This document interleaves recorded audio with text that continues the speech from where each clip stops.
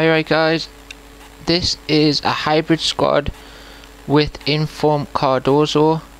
Starting off with the goalkeeper, we have Mandanda, 86 diving, 86 reflexes and 83 positioning. He plays for Marseille in the League 1 and cost me 1,600 coins. Moving on to the left back, we have Alaba, 86 pace, 81 dribbling and 78 passing.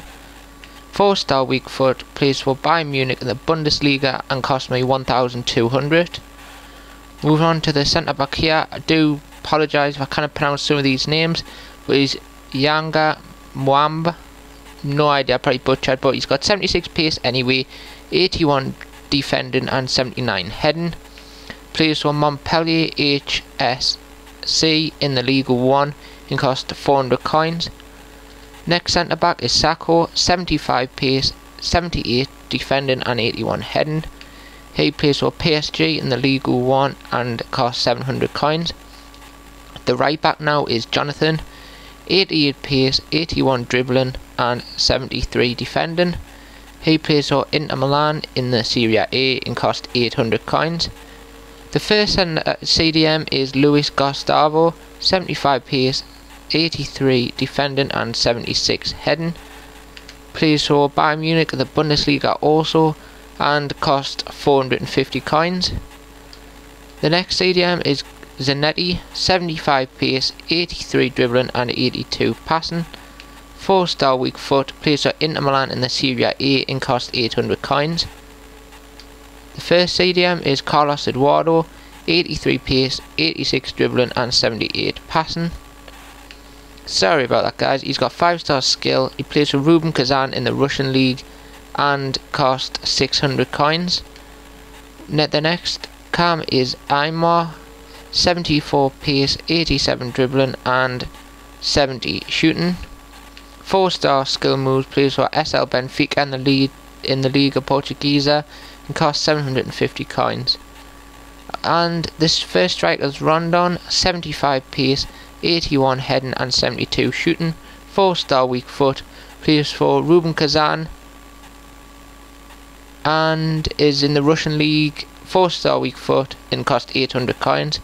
Now the Inform Cardozo, 62 pace, so it's really really really slow, 87 shooting and 82 heading.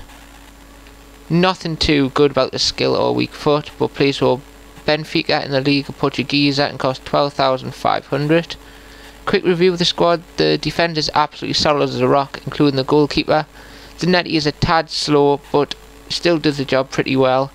Gustavo is fantastic. The two cams pretty decent also. I'd definitely say he's a little bit slow, but he's a very he's in the box and around about that. He's a poacher.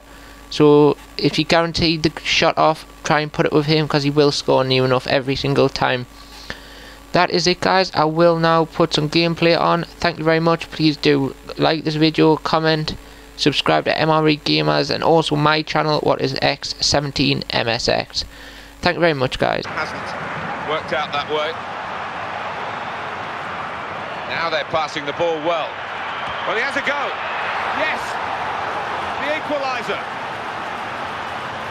that's a magnificent goal, and it has been coming. Yeah, they've got more players capable of picking out a pass and creating a chance, haven't they? Well, it could be. I hesitate to confirm it here because it's been a match of so many ebbs and flows, but it could be, and it looks like the winner. And certainly hasn't left the opposition with much time to respond, and if they... Oh, goodness me, it's an equaliser. So late in the day. Well, they just won't give up, this team. Dogged right to the end, and they... Aimar.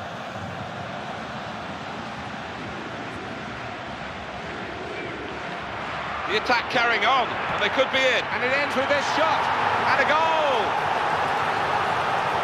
And it is an extra time goal from them. Such an important one. It could make the real difference now. Yeah, it puts them in a really strong position. Tackle here. Oh, he's away from his marker now. Great opportunity. Seen the chance. Got to be. Well, that's the old one-two. So quick, one after the other. Well, given the way the goalkeeper has started this game, this goal is no surprise. None at all. He started badly and he's fell away. He doesn't... Cardozo.